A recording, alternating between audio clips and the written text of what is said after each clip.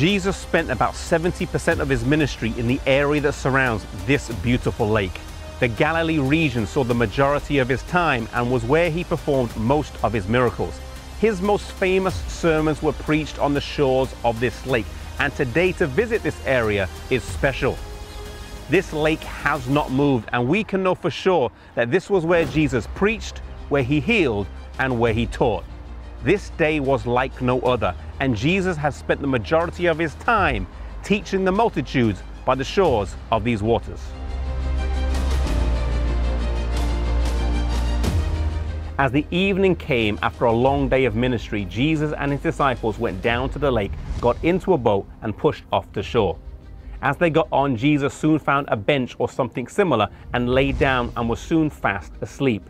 As can happen on this lake, suddenly the waves whipped up and the water turned rough. Many of the disciples were able seamen, and a few waves wouldn't scare them. But these waves got bigger and the wind got stronger, and soon water was coming into the boat, yet Jesus still slept.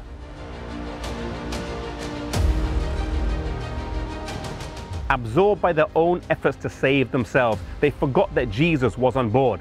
Then they came to Jesus and cried out, Master, Master, we are perishing, save us. Never did someone utter such a prayer, and Jesus ignored their cry.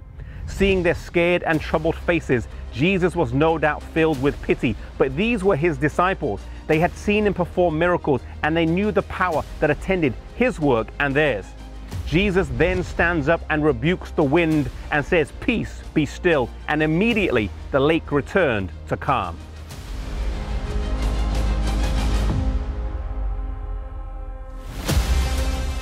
The storms cease, the waves stop, the clouds disappear, the air is still. Jesus then rebukes his disciples and says, Why are ye so fearful, O ye of little faith? Jesus wanted them to have faith and trust in his protection. They had never seen power on this scale before. Maybe they trusted in their own ability and skill to handle a vessel, and that's why they didn't cry out in faith first. Sometimes in our area of expertise, we are less inclined to trust God, and only after we fail first do we cry out to God for help rather than at the start.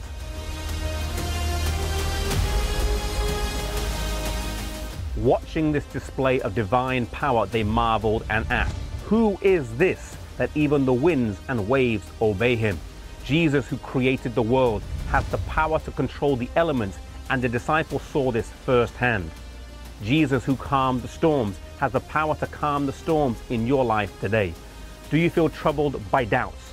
Do you feel burdened by circumstances that you cannot control? Do you feel tossed about in the storms of life, and unable to get a handle before another problem occurs?